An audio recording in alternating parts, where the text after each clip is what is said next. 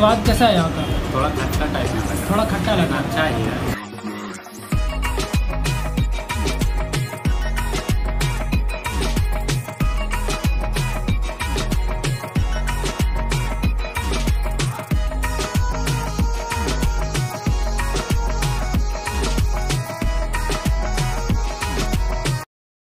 तो हेलो नमस्ते सत श्रीकाल सारे new. We are back with another video guys जैसा कि अभी आप देख रहे हो अभी हम हैं गिरिडीह के और टावर चौक के इलाके में जस्ट टावर चौक से आगे रोटरी क्लब जो रास्ता जाता है, जस्ट यहीं पर खड़े हैं। और यहाँ पर खड़ा होने का रीज़न बस एक है, और वो है बिरयानी किंग जैसे कि आप देख रहे हो, यहाँ पर एक बिरयानी किंग नाम से एक शॉप है, जो कि स्पेशली बिरयानी किंग लिखा हुआ है बट काठी रोल वगैरह और भी चिल्ली वगैरह सब के लिए बहुत ही फ़ेमस है। तो फिर आज हम यहीं का रोल टेस्ट करने वाले हैं।